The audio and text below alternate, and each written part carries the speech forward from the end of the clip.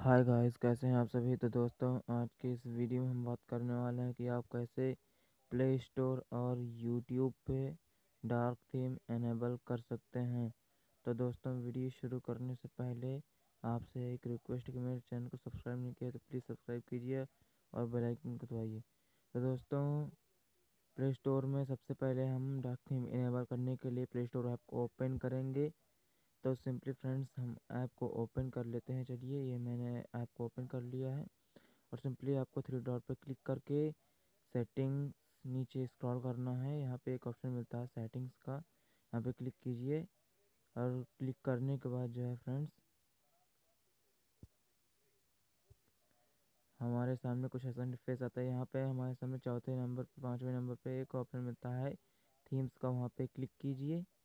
और फ्रेंड यहाँ पे फ्रेंड्स हमारा देख, ये देख लीजिए, तीन ऑप्शन आता है हमको डार्क कर रहे हैं। ये हमारे सामने हमारा प्ले स्टोर ऐप का जो है, वो थीम्स डार्क हो गया है। और फ्रेंड्स इस तरह हम यूट्यूब में कर सकते हैं। चलिए यूट्यूब ऐप ओपन करते हैं। यूट्यूब ऐप ओपन हो रहा है फ्रेंड्स हमारा। और सिंपली हमें अपने चैनल पर क्लिक करना है। और सेटिंग्स पे नीचे जाना है। और सिंपली फ्रेंड्स हमको जनरल पे क्लिक करना है। जनरल पर क्लिक करने के बाद फ्रेंड्स कुछ ऐसा इंटरफेस आता है और यहाँ पे दूसरे नंबर पे एक ऑप्शन आता है डार्क थीम आपको इसे इनेबल कर देना है। और ये देखिए फ्रेंड्स, मैंने इनेबल कर दिया है और मेरे यूट्यूब का जो है इनेबल हो चुका है डार्क थीम तो दोस्तों, कैसे लगा हमारी वीडियो कमेंट करके ज़रूर बताएँ। और दोस्तों के साथ शेयर कीजिए वीडियो को लाइक कीजिए चैनल को सब्सक्राइब कीजिए। And thanks for watching this video